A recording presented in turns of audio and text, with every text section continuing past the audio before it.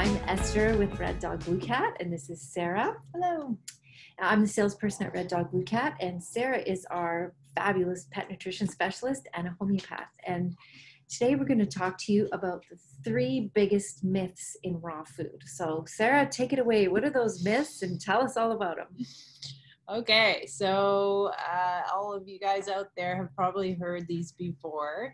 Uh, I decided to pick these ones because these are the ones I hear the most frequently and they drive me crazy. So I really want to kind of debunk them and uh, put them in the right light so you um, can really feel comfortable that you can explain raw food uh, to someone new who's kind of scared and make them feel more comfortable with the idea of feeding fresh food so we can help more pets. So, myth number one. So, the first myth is that you're going to make your pets sick if you feed raw. So, I've heard this from veterinarians, I've heard it from pet owners, I've heard it from uh, even the Health Canada and the FDA in the States. They're always on about this pathogenic bacteria. So Salmonella, E. coli, Listeria, there's some other ones as well. And that is a valid concern if you are not getting your food from a reliable source. So I don't even recommend getting your foods from a butcher or a grocery store where the idea is that the food is going to be taken home and it's going to be cooked. So the the food safety standards are not the same. So what we do in the facility here is uh, after a year of prepping, we applied for something called HACCP, which is a specialized food safety program that is for human grade facilities um, and so it's optional for us because there aren't any regulations for Canadian raw pet food companies to do any of these things. So it's a really great way to make sure that we're meeting all those standards and keeping everyone safe, including our staff and down to the animals that are eating it outside of our warehouse. So if you can, you should purchase your pet food raw pet food from a HACCP verified facility. There are a few in Canada. I think there are three, and we're one of those. And uh, I believe we're the only one on the West Coast that has it. So, yay.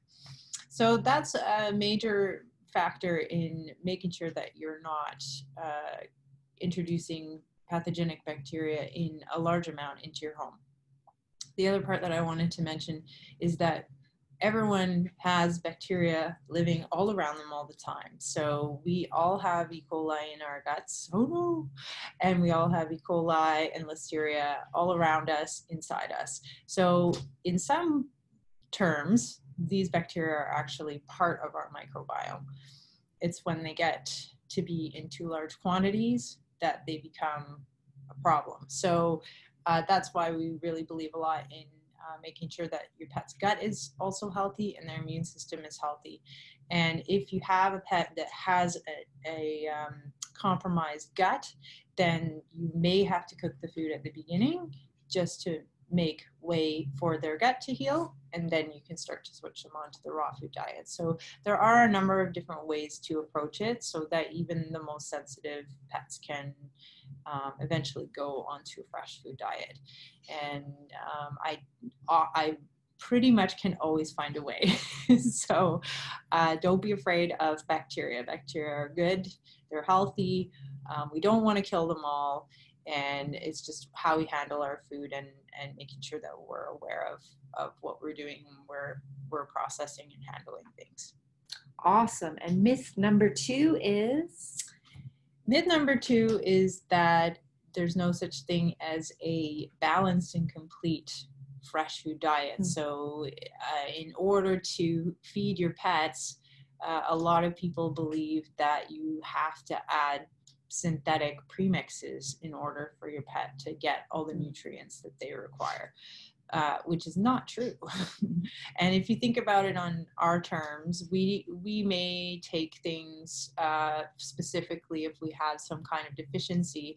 most of the time our deficiencies are either because we're eating poorly we're eating a lot of processed foods we're eating we're not exercising properly our guts aren't healthy we're not absorbing things properly so we may have to um, adjust our diet and also our um, vitamins that we take specifically for ourselves but a lot of times the most nutritious way to do that is to get it through food so uh, through eating lots of fresh veggies, fresh fruits, and making sure we have lots of diversity in our diet.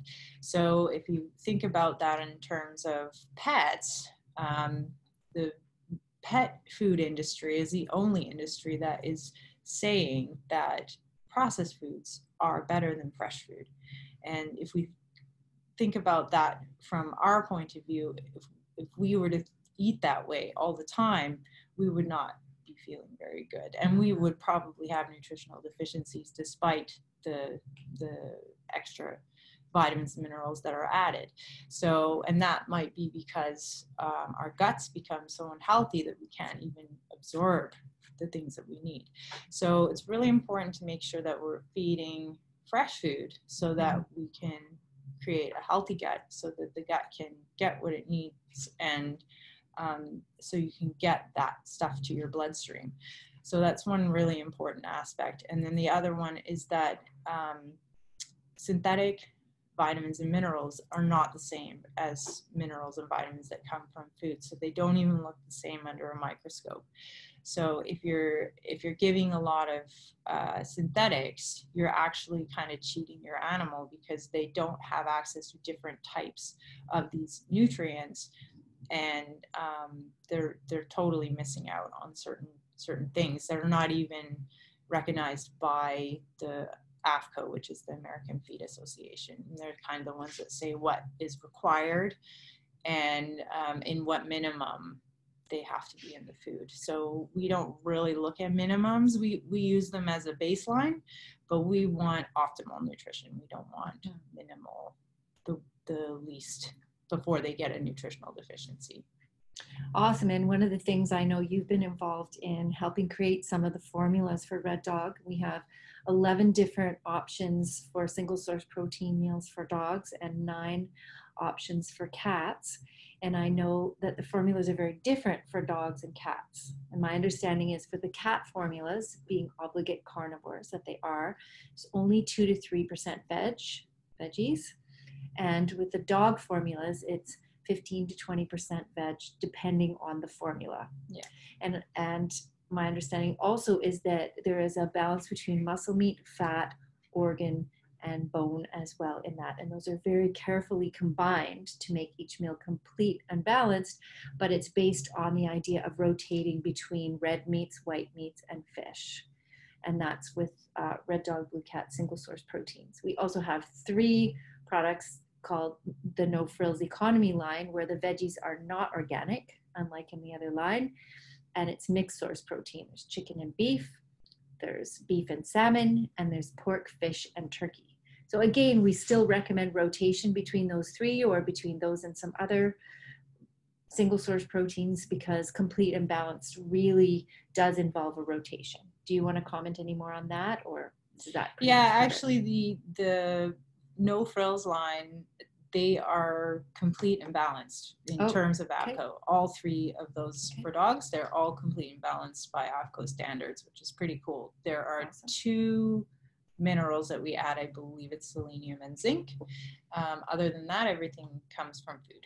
So that's pretty awesome. The uh, Red Dog line is more designed to use for uh, rotation. So there's several different proteins. They have several different veggies in them, um, different organs. Some have spleens, some have tongue, some have kidney, some have heart. So that if you're rotating them, you're getting more diversity in their diet. Uh, and for animals that can only be on one protein or a few proteins because they have allergies mm-hmm. uh, or gut related issues, then um, we do have customized services that you can use to make sure that it's still balanced and complete, um, even if you can only use one protein. Awesome, thank you. Yeah. And now myth number three, that is Yeah, the last one is that there's uh, no research about raw and whether or not it's actually more beneficial than feeding dry food. So um, I first like to comment on the fact that if we were really to think about that for us, um, we don't need research to tell us that we should be eating fresh food. so um, that's kind of the first thing that I try to mention. and then uh, the next part is that yes, there there was very little research before, um, but now there's there's a lot of research coming out and um, one of the really important things to remember is when you're you're looking for research on pet food you want to try and find research that is not done by pet food companies. You want to try and find research that's done by independent uh, sources. So through a university, through um, someone doing their PhD, uh, or someone other than a pet food company, because they, they there's always a vested interest and there's money going into it because they're a pet food company.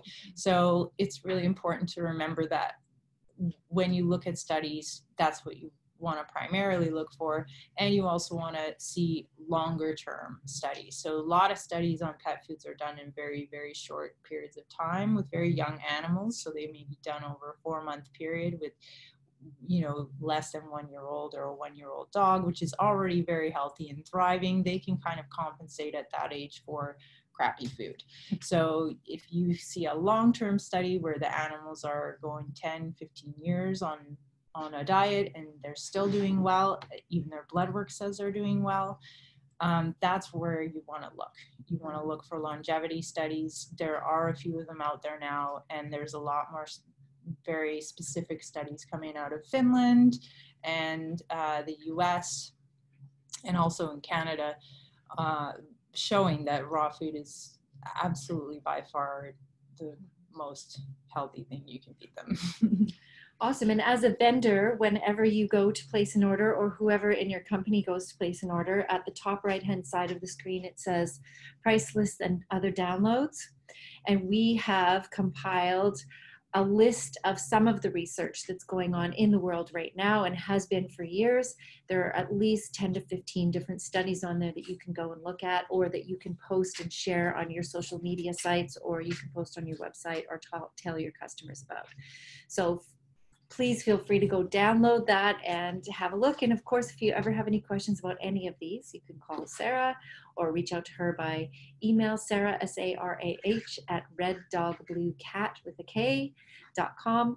Or if you have any sales questions, I'm Esther, Esther, E-S-T-H-E-R at reddogbluecat K dot com. Thanks for being with us today.